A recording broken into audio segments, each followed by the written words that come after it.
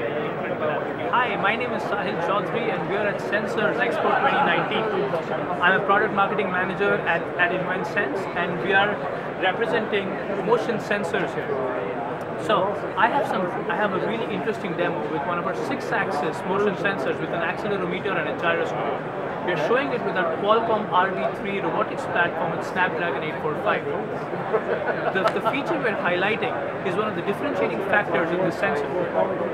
We call this the RTC clock input feature.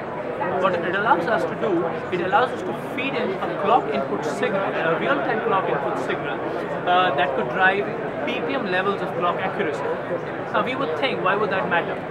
But in applications like virtual reality, augmented reality, uh, uh, applications like robotics, uh, drones, where you really need rotations to be detected very, very accurately, you need this kind of clock accuracy to be avoid the smallest drifts while you're moving your head and trying to trying to make sure the screen also moves in the same direction.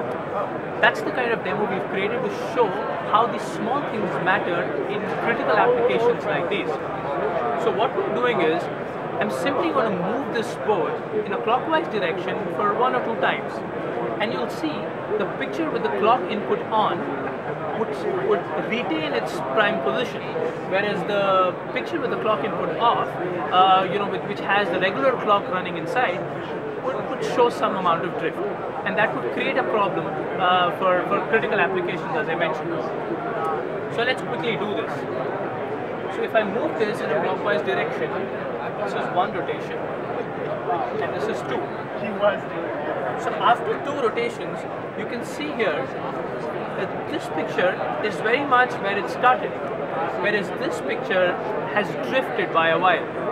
This is all because of the clock accuracy difference, which creates a difference in the sampling.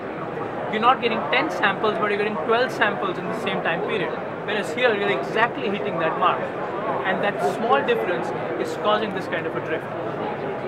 So, uh, with our sensors, we also have very good noise performance uh, and very high sensitivity, which is again critical for applications like these. Thank you so much.